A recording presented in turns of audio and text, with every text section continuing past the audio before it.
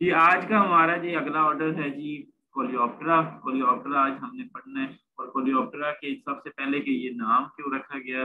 इसका जो, इसके पीछे रीजन क्या है?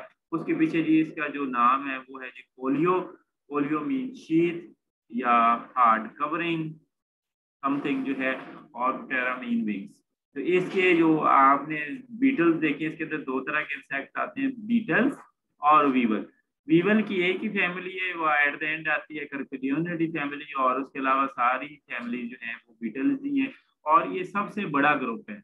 यानी कि जो नंबर ऑफ़ स्पीशी के हिसाब से लगाए ना तो आज दुनिया में सबसे बड़ा ग्रुप है, जो इंसेक्ट का सबसे बड़ा ग्रुप है। Largest order of the insect या आप कह लेंगे लार्जेस्ट नंबर ऑफ़ स्पीशी जो है, इसी में पाई जाती है। इसके अलावा जो है हाइमिन ऑप्टरा में साइंटिस्ट समझते हैं। अभी तक है नहीं मगर साइंटिस्ट अंदाज़ा लगा रहे हैं कि वो शायद सबसे बड़ा हो, क्योंकि उसमें अभी बहुत सारी ऐसी स्पीशी हैं जो अभी अनएक्सप्लोर्ड है, मगर जो अभी गिनती के हिसाब से शुमार के हिसाब से या जो स्पीशी आइडेंटिफाइड है, उसमें ये सबसे बड़ा ग्रुप है। और इसका नाम इसलिए रखा गया है कि इसका जो फ्रंट विंग है, ये ये वाला विंग जो है, ये बीटल्स का, ये फ्रंट विंग हार्ड और जो है वो हार्ड किस्म का होता है हार्ड ये फ्रंट विंग और इसको हम क्या कहते हैं? अलाइट्रा ठीक है? और इसका जो पिछला विंग है, वो मिम्ब्रेनस होता है। इसको एक विंग को इलेक्ट्रॉन कहेंगे और दोनों को इलाइट्रा इकट्ठा कहेंगे। और इसके आपको पता है कि इसकी जो पेन लगाते हैं पेन भी आपको पता है कि जी इसमें ये बेस आपका राइट इलेक्ट्रॉन यानी कि जो राइट इलाइट्रॉन की जहाँ पे ये आपको कर्सर नज़र आ रहा है, यहाँ पे करके हम पेन लगाते हैं। तो इसलिए जब भी आप बॉक्स बनाए या हमेशा आपसे पूछा जाए या ऑब्जेक्टिव आ जाए तो यहाँ पे तीन बेस आप राइट इलेक्ट्रॉन या आपने विंग इसको जो पेन लगानी है, जो इसके ऑर्डर के करेक्टरिस्टिक्स हैं, वो ऑर्डर के करेक्टरिस्टिक्स में जो है, इसके सबसे पहले हम देखते हैं कि एंटीना तो एंटीने जो हैं, इसके मुख्तलिफ़ किस्मों की हैं लेमलेट हैं फ्लेवलेट्स हैं, और जो डेंटेट हैं, ठीक है, इस तरीके से मुख्तलिफ़ किस्मों के इसके एंटीने हैं। वो आगे चल के पढ़ेंगे। माउथ पार्ट जो है वो इसके अंदर जो है आप कह लें कि माउथ पार्ट चुइंग टाइप्स के माउथ पार्ट है। चुइंग टाइप्स के माउथ पार्ट ये हैं कि ये कुतर के खाती हैं। और इसके prognathous types of mouth part होते हैं। कैसे होते हैं? प्रोनेथस मीन फ्रंट साइड के ऊपर माउथ पार्ट होते हैं। इसकी थॉरेक्स की बात करें तो थॉरेक्स में इसका जो फ्रंट विंग है, जो अभी हम पहले बात कर चुके जिसकी वजह से इसका नाम भी है, वो एलाइट्रा मीन हार्ड विंग्स होते हैं दोनों। और ये भी एक विंग की किस्म है। जो दूसरी किस्म है, वो है जी इसमें दो कलर के विंग पाए जाते हैं। जो हाइंड विंग है, वो मेम्ब्रेनस होता है। जो मेम्ब्रेनस आपने पढ़ा है कि एक झिल्ली नुमा स्ट्रक्चर में मेम्ब्रेन की स्ट्रक्चर में पाया जाता है। और ड्यूरिंग रेस्ट पोजीशन वो इलेक्ट्रॉन के नीचे जो है, वो फोल्ड हो जाते हैं। ठीक है? तो इसको हम तीन कैटेगरी में डिवाइड करते हैं। तो इसको जो है, या तीन कह लें कि सब आर्डर के अंदर इसको ग्रुप को डिवाइड करते हैं। उसमें से जो सबसे पहला है पोलीफेगा पोलीफेगा तीन सब ऑर्डर है से जितनी भी स्पीशीज हैं, वो बिलोंग करती है। वो पॉलीफेगा एडिफेगा और तीसरा सब ऑर्डर है आर्कोस्टीमेटा आर्कोस्टीमेटा ये तीन है। पॉलीफेगा एडिफेगा आर्कोस्टीमेटा तो इनके करेक्टरिस्टिक्स हैं। ये करेक्टरिस्टिक्स कुछ मैंने आपको अभी ग्रुप में एक, दो पेज सेंड किए हैं। वो जो है, आप वो बना लीजिएगा। उसके ऊपर वो उसमें करेक्टरिस्टिक्स दिखाए गए हैं। प्लस ये है कि इसमें ये डेफिनेशन हैं कि सबसे पहले है कि नोटोप्लूरल सुचर इज़ एबसेंट और इनकम्प्लीट यानी कि पॉलीफेगा के अंदर ये एक नोटोप्लूरल सुचर होती है, वो एबसेंट होती है। ये होती क्या है? तो इसकी आप डेफिनेशन लिख लें। ये ऊपर जो लिखी भी हुई है, ये मैंने आपको ग्रुप के लिए जो है, ये मेंशन की हुई है। आज सूचर आप लिख लें, चाहे अपने ना मैनुअल के ऊपर या कॉपी के ऊपर लिख लें, बाद में आप लिख लीजिएगा। उसमें है, a suture between the notum and the pleural sclerites sclerites यानी कि जो नोटम है, ऊपर वाली प्लेट होती है। नोटम, आपने ये पढ़ा है, नोटम या टर्गम। नोटम कहते हैं जो थोरेक्स के ऊपर जो या जो ऊपर वाली प्लेट होती है। प्रो थोरेक्स के ऊपर होगी तो उसे प्रो नोटम कहेंगे। जो मीजोथोरेक्स के ऊपर होगी तो उसे मीजोनोटम कहेंगे। मेटाथोरेक्स के ऊपर हो गई तो मेटा नोटम और प्लूरल सेक्लाइड्स प्लूरल मीन जो साइड के ऊपर जो सेक्लेराइड्स होती हैं प्लेट्स होती हैं, उनके दरमियान में एक सूचर होती है, उसको हम क्या कहते हैं? नोटो प्लूरल सूचर ठीक है? इसके अलावा एक वर्ड यहाँ पे आएगा रिपोज क्या नाम है? रिपोज रिपोज का क्या मतलब होता है? रेस्ट पोजीशन में. रेस्ट पोजीशन में मीन जब इंसेक्ट फ्लाई ना कर रहा हो, ज़मीन के ऊपर बैठा हो, उसको हम क्या कहते हैं? रुका हुआ हो. उसको हम क्या कहेंगे? रेस्ट ये इसके मीनिंग है, ये आप लिख लें, फिर इसके बाद जो है ये मैं आपको वो दिखाता हूँ। अच्छा इसके अलावा जो है आप सबसे पहले करेक्टरिस्टिक्स देखेंगे जी, ये नोटोप्लूरल फ्यूचर तो होती नहीं है इसमें। और वो नोटोप्लूरल फ्यूचर होती क्या, कैसी है, वो मैं आपको दिखा दूँ कि वो कैसी होती है। वो है इस तरीके से, ये देखें। इधर ग्रुप में दिखा दूँ आपको। ये सबसे पहले दिखा दूँ जी, वो नोटोप्लूरल फ्यूचर होती क्या है। तो ये नोटोप्लूरल फ्यूचर जो है, ये देखें जी, एक सेकेंड ये देखें जी, इसके ये मैं आपको तस्वीर भी सेंड कर दूँगा। ये देखें जी, ये वाली फ्यूचर है। ये उसकी टर्गम साइड है, ये मीजोथोरेक्स की। और ये उसके दरमियान में ये निचले पार्ट्स हैं और ये ऊपर वाली जो टर्गम है टर्गम और जो प्लूरल जो सेक्लेराइट्स के दरमियान में जो एक आपको लाइन नुमा स्ट्रक्चर नज़र आएगा। ठीक है, एक गुरु कह लें कि एक फ्यूजन जहाँ पे पॉइंट ऑफ़ फ्यूजन होता है। ये सूचर एक्चुअली क्या होता है? पॉइंट ऑफ़ फ्यूजन वहाँ मीन जहाँ पे दो सेक्लेराइट्स या दो प्लेटें आपस में फ्यूज हो रही हूँ, उसको हम क्या कहते हैं? सूचर। और ये है, इसको हम एक स्पेशल नाम देते हैं नोटो प्लूरल सूचर। ये डेफिनेशन भी लिखी हुई है, ये अभी आपको मैंने लिखवाई भी है। ये है। एक करेक्टरिस्टिक्स तो ये है। अच्छा दूसरा करेक्टरिस्टिक्स जो है, या आप वापस आ जाए उसके ऊपर, अपने मैनुअल के ऊपर तो मैनुअल के ऊपर जो है, इसमें एक करेक्टरिस्टिक्स तो ये हो गया। इसमें ये वाली चीज़ जो है, वो मौजूद ही नहीं होती। ठीक है? इसमें अभी अभी आपने पढ़ा है कि इसके अंदर ये जो खूबी है, या ये करेक्टरिस्टिक्स है, ये मौजूद ही नहीं है। अच्छा दूसरा क्या है? इसके अंदर दूसरा करेक्टरिस्टिक्स भी एक ये है कि wings are without two medial cubitus cross veins and यानी कि इसके जो विंग्स होते हैं, उसमें मीडियल टू मीडिया यानी कि ये आपने देखा है, या आप गौर करें जाके, इसके अंदर जो है, ये गौर करें तस्वीर के अंदर इसमें, ये मैं अभी आपको शेयर करता हूँ। ये हमने पढ़ा है। ये आपने देखी है, तस्वीर पहले भी देखी है कि आप जो एक विंग बनाए अब विंग में क्या होता है कि ये एक मीडियल वेन है। मीडियल वेन आपने देखी थी जो रेडियस के बाद आती है। पहले कॉस्टा सब कॉस्टा रेडियस फिर मीडिया मीडिया आती है। मीडिया के बाद आती है क्यूबिटस और मीडिया आपने देखा है कि जो आपने ग्रास ऑफ़ विंग में भी देखा है कि वो दो हिस्सों में डिवाइड हो जाता है। ये ऊपर वाली विंग्स दो वेन्स में डिवाइड होती है। इसको कहते हैं वन एम और इसको कहते हैं टू एम क्या कहते हैं? इसको वन एम और इसको क्या कहते हैं? Two M. ठीक है? अब जो है कि इसमें कहते हैं कि ये टू एम और ये जो क्यूबिटस है, ये क्यूबिटस वन, टू की बात नहीं कर रहे, सिर्फ़ ये मेन ब्रांच अभी जो क्यूबिटस चल रही है। इसके दरमियान और ये टू एम जो वेन है, यानी कि आगे जिसकी दो ब्रांचेस बनी, वन एम और टू एम। ठीक है, फिर आगे वन एम मजीद आगे डिवाइड होती है, एम वन, एम टू, और इसी तरीके से ये आगे मजीद डिवाइड होती है। तो इसमें जो हमने कहा कि इसमें ये टू एम और क्यूबिटस के दरमियान में कोई क्रॉस मीन्स नहीं है। दूसरा, इसमें ये एक और करेक्टरिस्टिक्स आप गौर करें, जो चल के देखते हैं कि वो ये कहते हैं कि इसके अंदर जो है इसमें जो हमारे सब आर्डर में आ जाए। इसके अंदर क्या है कि विंग्स जो हैं इसने एक और बात यहाँ पे लिखी है, वो ये लिखी है कि distal part is not spirally coiled in repose repose का आप ऊपर मीनिंग लिखा है मीन रेस्ट पोजीशन यानी कि इसका विंग जो है, जब रेस्ट पोजीशन में होते हैं कि जो एंड वाला पार्ट है विंग्स का आपको पता है कि ये कौन से पार्ट होते हैं? दो पार्ट होते हैं, ये हमने कहा। एक होता है ये basal part basal part mean जहाँ से विंग जुड़ा है।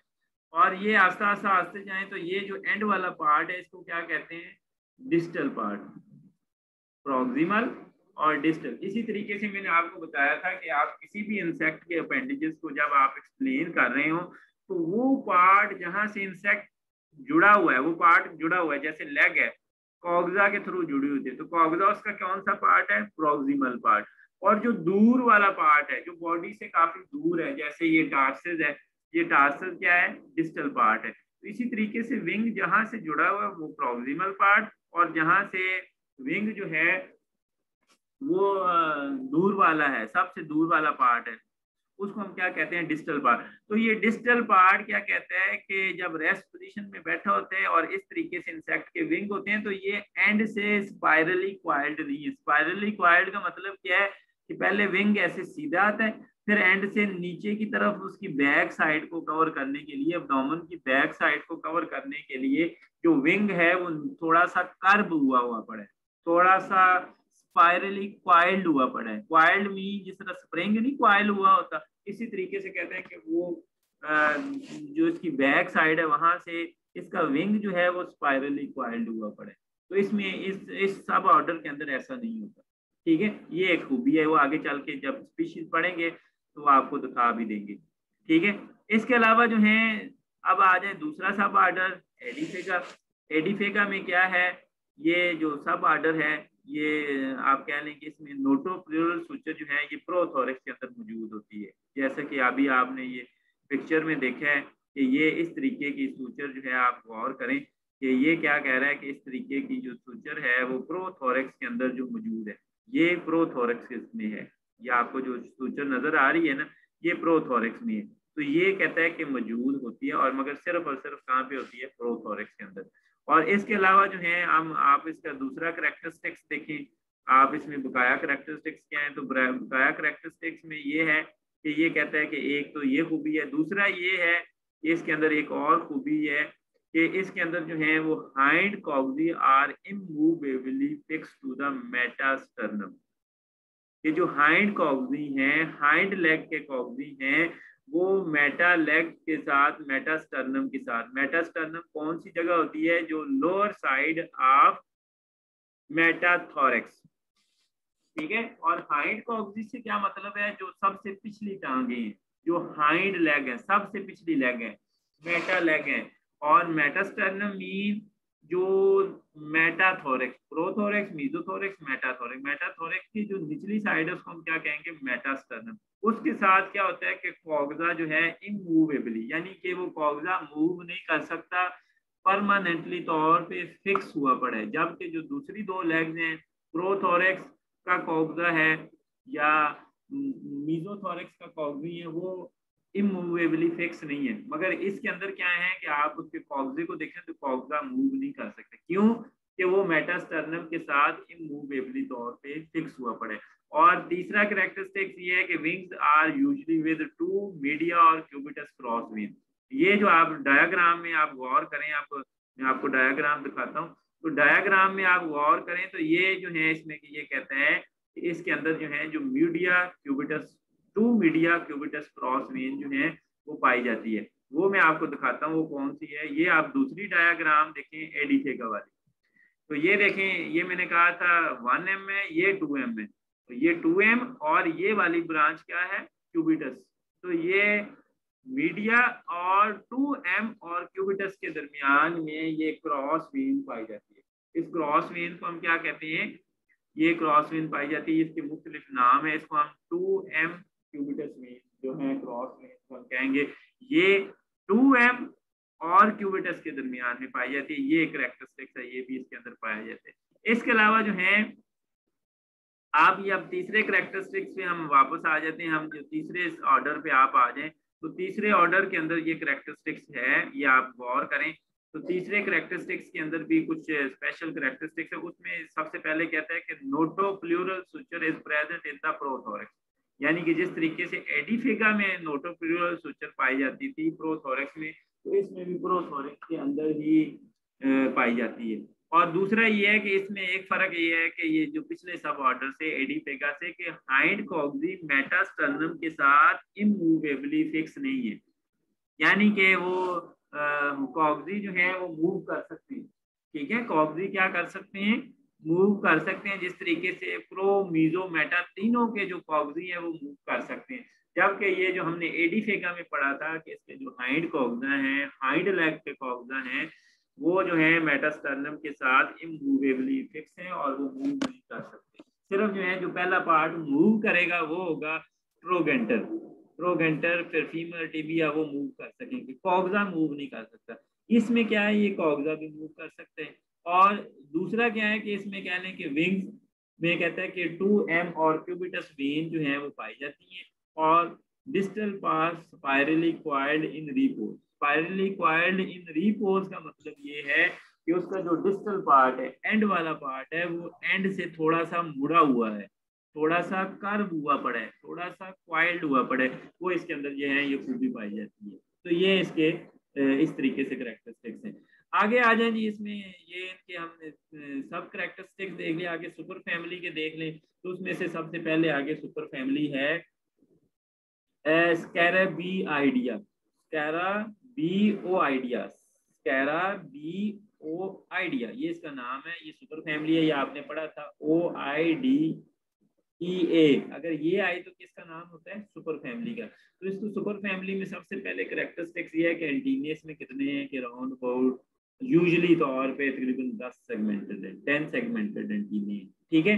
और with three and six apical segment produced on wide side to form lamellate club lamellate club किस तरीके से होता है वो मैं आपको दिखाता हूँ कि ये देखें जी, इसके एंटीने जो हैं, जो उसकी सुपर फैमिली के एंटीने हैं, वो आप देखें किस तरीके से हैं। तो वो जो एंटीने हैं, वो आप गौर करें, ये देखें इस डायाग्राम में ये मैंने डायाग्राम बनाई हुई है, ये देखें। ये सुपर फैमिली स्कैराबिडी फैमिली का है ये स्केप है, ये पेडिसल है और पेडिसल के ऊपर एक, दो। ये सेगमेंट जो है, ये लेमिनेट नहीं है। लेमिनेट मीन के टंग नुमा स्ट्रक्चर नहीं बने हुए। बल्कि इससे ऊपर तीसरे से लेके सातवें सेगमेंट तक ये क्या है, एक तरफ़ टंग नुमा स्ट्रक्चर निकले हुए हैं। लीफ लाइक स्ट्रक्चर बड़े बड़े लिखे हुए हैं। इनको हम क्या कहते हैं? इसको हम क्या कहते हैं? फ्लैपलेट लेमिलेट एंटीना ठीक है? ये लेमिलेट एंटीने पाए जाते हैं इस तरीके से। ये सुपर फैमिली का करेक्टरिस्टिक्स है, ठीक है? अब ये है कि आप आ जाए, वापस आ जाए तो आप दूसरे सब ऑर्डर में आप देखें, इसका एक करेक्टरिस्टिक्स तो हो गया। Body is usually stout body stout body आपने कभी सुना होगा स्टाउट बॉडी होता क्या है? सबसे पहले जो है, ये आप गौर करें कि स्टाउट बॉडी जो है स्टाउट बॉडी होता है कि जो ऐसा मोटा गोल मोल सा बॉडी कैसे आप एक देखिए ना, बड़ा भारी भरकम बंदा होता है, और आप कहते हैं जी बड़ा यार स्टाउट बॉडी है, इसका स्टाउट बॉडी का मीन मोटा भी है और ऑलमोस्ट उसका कद भी छोटा सा है और ऐसे गोल मोल सा बंदा लगता है। तो इस तरीके से ये भी बीटल ऐसी है कि ये मोटी भी है और ये जो है, आगे चल के मैं अभी आपको दिखाता हूँ, ये दो मुख्तलिफ़ तरह की बीटल्स हैं। तो ये काफ़ी स्टाउट है इनका बॉडी ये तो हो गए सुपर फैमिली के करेक्टरिस्टिक्स अब सुपर फैमिली के करेक्टरिस्टिक्स के बाद हम ना साथ साथ देखते हैं, दो इसके अंदर सब फैमिलीज़ हैं जियोट्रोपिडी और दूसरी फैमिली है स्कैरापिडी ये स्कैरा ओ आइडिया स्कैरा ओ आइडिया इसकी सुपर फैमिली थी। उसमें आगे दो फैमिलीज़ हैं जियोट्रोपिडी इसमें डोर बीटल आती है और इसके और इसके अलावा जो है दूसरी फैमिली है, इसमें क्या आती है? स्कैरब स्कैराबिडी स्कैराबिडी स्कैराबिडी आपने जो फैमिली पढ़ी थी जिसको स्कैरब बीटल या आपने सी शेप लार्वे पढ़े थे। याद हो आपको, गौर करें तो आपने पढ़े थे कि जी इसके लार्वे कैसे होते हैं? स्कैराबिडी फैमिली के सी शेप लार्वे होते हैं। कैसे लार्वे होते हैं? सी शेप लार्वे होते हैं। सी शेप लार्वे होते हैं स्कैराबिडी फैमिली के अंदर। तो ये जो है फैमिली है, इसके अंदर जो है, हम पढ़ते हैं। तो ये मैं अभी आपको दिखाता हूँ कि ये होते हैं, कहते हैं। तो सबसे पहले क्या है कि इसमें दो करेक्टरिस्टिक्स है। एक तो एंटीनियस के अंदर क्या है? अलेवन सेगमेंटेड है। एंटीनियस के अंदर होंगे कैसे? लेवल एट शेप के ही। ठीक है? और मगर दूसरा इसमें करेक्टरिस्टिक ये है कि abdominal spiracles all are present in the pleural membrane इसके सारे के सारे जो स्पाइरिकल हैं, वो ना तो बिल्कुल नीचे है, ना ऊपर है, बल्कि कहाँ पे है? जो प्लूरल मेम्ब्रेन है, जो लेटरल साइड है, वहाँ पे मौजूद है। सारे के सारे जो इसके स्पायरिकल मौजूद हैं, वो लेटरल साइड पे जिसको हम प्लूरल साइड कहते हैं या प्लूरल मेम्ब्रेन कहते हैं, वहाँ पे पाए जाते हैं। उसकी मैंने एक थोड़ी सी ये इसको ड्रा करने की कोशिश की है, थोड़ी सी वो मैं आपको दिखाता हूँ कि वो कैसे मौजूद है। वो जो है, ये देखें जी जियोट्रोपोडी फैमिली के अंदर। गौर करें, ये आपको जो प्रॉपर्टी फैमिली नज़र आ रही है, एक तो एंटीनियस में कैसे अलेवन सेगमेंटेड एंटीनियस वो आप एंटीने ऐसे ही बना लें और जो, सब फैमिली वाले। दूसरा करेक्टरिस्टिक्स ये है कि ये देखें, ये इसकी डॉर्सल साइड है और इससे निचली साइड जो होगी, ये हेड है, ये थॉरेक्स है और ये क्या है इसका अपडोमन है। ये हेड थॉरेक्स और ये अपडोमन और ये जो साइडों पे आपको सारे नज़र आ रहे हैं मतलब के सारे के सारे जो स्पायरिकल हैं, वो कहाँ पे हैं? वो प्ल्यूरल मेम्ब्रेन के अंदर है। सारे के सारे स्पायरिकल कहाँ पे हैं?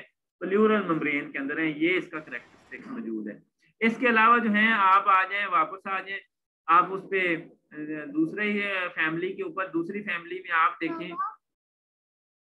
दूसरी फैमिली में आप आ जाए तो वो स्कैरेबिडी फैमिली है। स्कैरेबिडी फैमिली के अंदर जो है, ये मैं अभी आपको दोनों फैमिलीज़ जो है, वो दिखा भी देता हूँ। ये कौन सी फैमिलीज़ हैं? मगर इनके सबसे पहले मैं जाता हूँ कि करेक्टरिस्टिक्स पढ़ लें दूसरी सब फैमिली है जी स्कैरेबिडी फैमिली स्कैरेबिडी फैमिली के अंदर एंटीने कितने हैं? एट टू टेन सेगमेंटेड है। एंटीने इसके भी लेवल एट ही है। दोनों के अभी आपने जो सुपर फैमिली में पढ़े सुपर फैमिली के जो करेक्टरिस्टिक्स होते हैं, वो फैमिली में भी पाए जाते हैं। तो इसके अंदर करेक्टरिस्टिक्स क्या है? कि इसके अंदर एट टू टेन सेगमेंटेड पाए जाते हैं। इसका जो बॉडी है, वो ओवल से लेके थोड़ा सा लॉन्गेट होता है।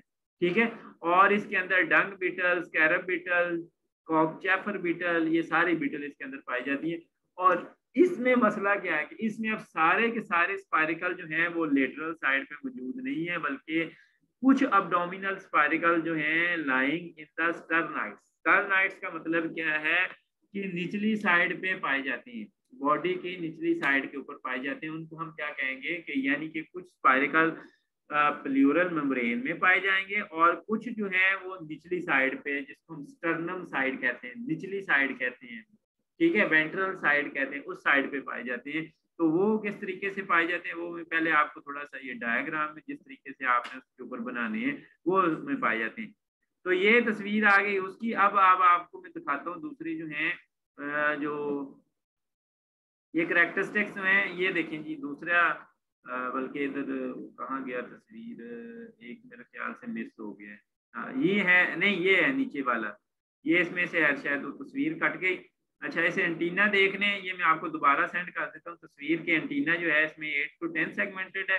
मगर इधर स्पायरिकल कुछ जो है, ये हेड थॉरेक्स और इससे नीचे ये यहाँ पे डायग्राम थी, वो मेरे स्कैन करते हुए कट गई। मैं आपको दोबारा सेंड कर देता उसमें क्या है कि कुछ स्पायरिकल इसी तरीके से प्ल्यूरल मेम्ब्रेन में है और कुछ स्पायरिकल जो है, वो वेंट्रल साइड के ऊपर डॉर्सल साइड के वेंट्रल साइड के ऊपर या स्टर्नम साइड के ऊपर मौजूद हैं, या जिनको हम स्टर्नाइट्स भी कहते हैं। वो अभी मैं आपको दोबारा हूँ।